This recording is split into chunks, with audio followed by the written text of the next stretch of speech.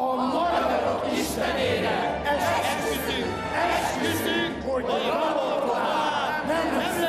Március 15-én egész napos ünnepi műsorfolyammal várjuk Önöket. A stúdióban vendégekkel, a helyszínen pedig tudósítóinkkal együtt követhetik az eseményeket. Élőben közvetítjük a békemenetet, mely kiemelten fontos a jelenlegi felfokozott helyzet tükrében.